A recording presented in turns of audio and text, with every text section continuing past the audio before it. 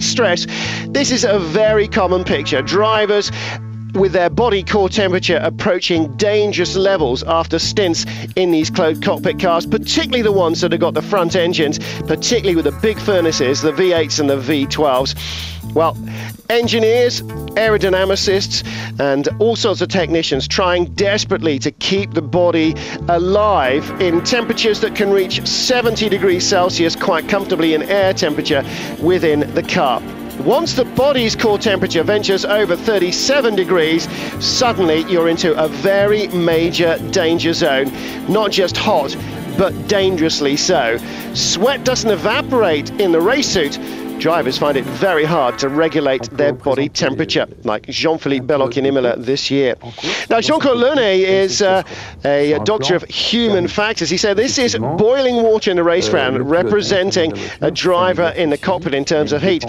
Inside the car, of course, the driver is exerting uh, a great energy expenditure, great physical exercise. He produces an enormous amount of heat, and heat's coming into him from the engine, from the environment, and from the, the surrounds of the car, it's unable to escape, contain the heat that he's generating, as we're doing here by putting a lid on the saucepan. Everybody who's ever cooked pasta knows exactly what is going to happen next. The heat can't escape, the temperature builds up, and it starts to boil. Everybody has a different physiognomy. Race drivers and normal human beings alike all differ minutely from each other. Some withstand it better, some succumb more easily. But still, uh, the, the fitness level can't always keep a driver in one piece. Some of the most extremely fit drivers still have trouble dealing with heat. Roman Morizot from Stann Stand 21, the uh, race suit manufacturer, says today we figure that the driver is probably the biggest variable in terms of performance uh, related uh, drop off in a car, bringing all the sort of technology and new materials that we can bring to bear within race suits and underwear and helmets and so on to try and keep his temperature within ranges has got to help in terms of performance.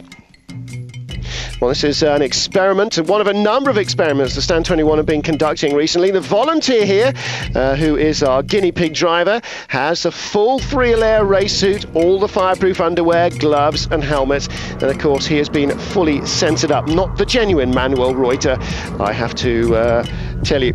However, by putting him in a controlled environment and getting him to do a controlled amount of work, they can scientifically measure exactly how his body reacts to the confines, to the heat, and by using wet heat and dry heat, they can vary the consistency and therefore try and work out exactly how best to deal with it.